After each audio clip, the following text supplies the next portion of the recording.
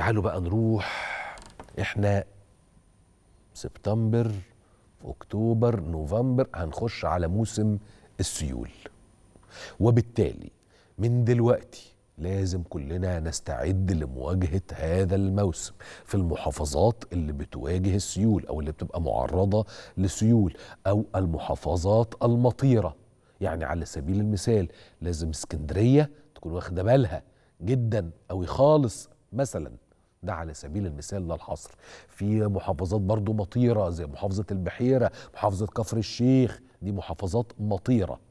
وفي محافظات تانية تواجه مخاطر السيول زي سينا. يا ترى إحنا جاهزين؟ طيب خلوني آخد على التليفون المهندس ياسر العماري رئيس إدارة المتابعة لشركة مياه الشرب والصرف الصحي بشمال وجنوب سينا. إزيك يا باشمهندس؟ أستاذ يوسف ازي حضرتك؟ وعليكم السلام ورحمة الله وبركاته. طيب اتفضل. بقول لك إيه يا أستاذ يا باشمهندس ياسر بعد إذنك نوطي التلفزيون على الآخر بقى. تمام يا تمام يا فندم بارك الله فيك يا باشمهندس. إحنا جاهزين للموسم ولا إيه؟ إن شاء الله يا فندم جاهزين و يعني إن شاء الله يكون موسم خير بإذن الله أكتر من من من يكون إنه موسم يعني فيه شر إن شاء الله. طيب عشان نحوله إلى موسم خير نعمل إيه؟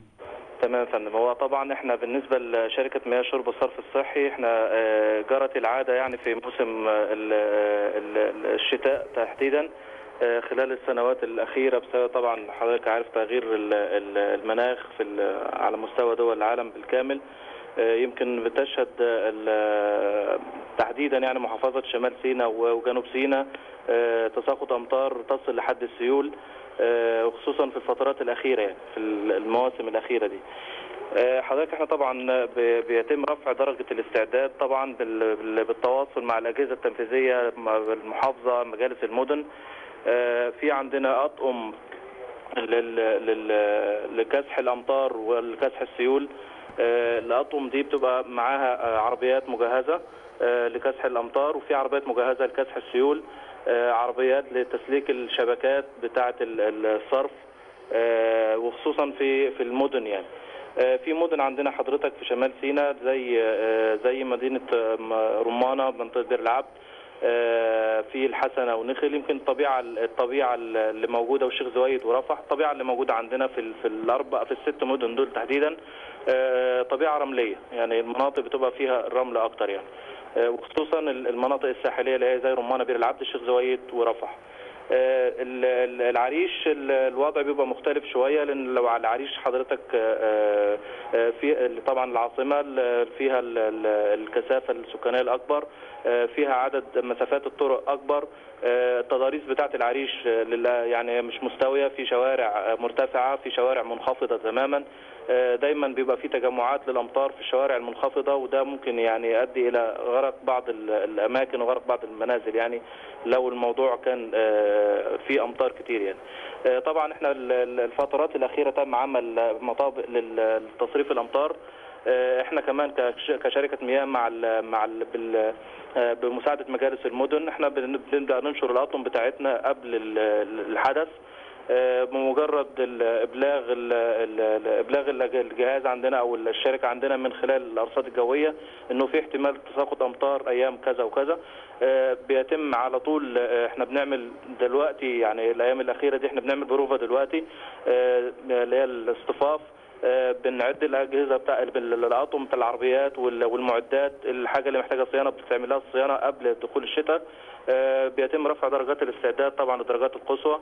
آه، مجرد سقوط الأمطار ال- ال- الناس معاها أوردر آه، بيبقى جاهز على طول إنه كله يتحرك على مكان التمركز اللي هيبقى موجود لأن إحنا مقسمين ال- ال- المدن لتمركزات. آه، كل يعني داخل مدينة العريش مثلا في عندنا ثلاث تمركزات. التمركزات دي على طول الناس بتتحرك كل واحد عارف مكانه هيروح فين فيها عربيات معينة فيها فيها نافوري مدمج فيها آه، نافوري صغير للشبكات الصغيرة اللي في الأماكن الضيقة. في في ال- ال- العربيات بتاعت نقل العمال برضو بتبقى جاهزة على طول إن هي تبدأ تتحرك وتتحرك بالناس على طول. علشان خاطر طبعا إحنا بيبقى آه، ما يبقاش في دايما سدد ما يبقاش في إعاقة لل- للناس لحركة الناس والكلام ده كله. في تحويل للمسار طبعا عن طريق معدات اللي هي زي اللوادر الصغيرة. بيتم تحويل مسار لو في مية ومنطقة رملية جنبها آه، بيتم تحويل مسار على طول عشان خاطر برضو الناس هتستفيد لو في الزراعة أو في الحاجات دي كلها. حلو قوي. كويس جدا طيب. باشمهندس ياسر.